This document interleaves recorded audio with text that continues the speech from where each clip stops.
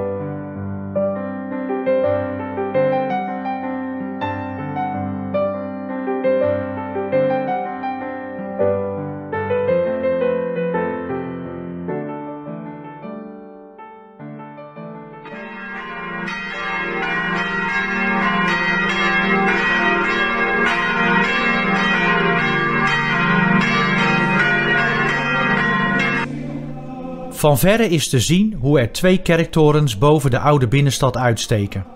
De puntige toren is die van de katholieke kerk.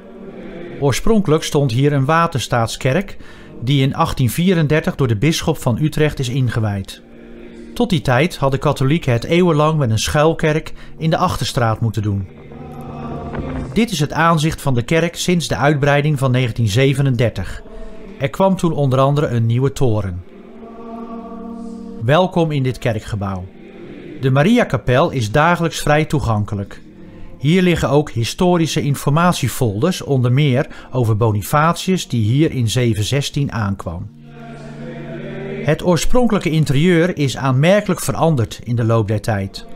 Centraal in deze kerk staat Jezus die aan het kruis zijn leven geeft voor alle mensen. In dit altaar zit een altaarsteen met de reliquieën van de martelaren van Gorkum, onder wie Cornelis van Wijk bij Duurstede, onschuldig vermoord in 1572 omdat hij zijn katholieke geloof niet wilde opgeven. Het geloof is hier 1300 jaar geleden gebracht door Willebrord en Bonifatius. Aan de wand hangen 14 staties, schilderijen die het lijdensverhaal vertellen.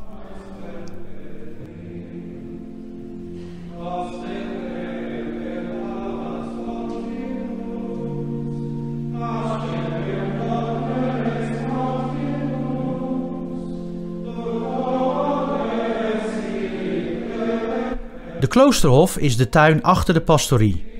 Hier stond in de 15e en 16e eeuw het Maria Magdalena klooster. Van de buitenmuur die het kloosterterrein omringde, is nog een lang stuk te zien in de stiltetuin in de kloosterhof.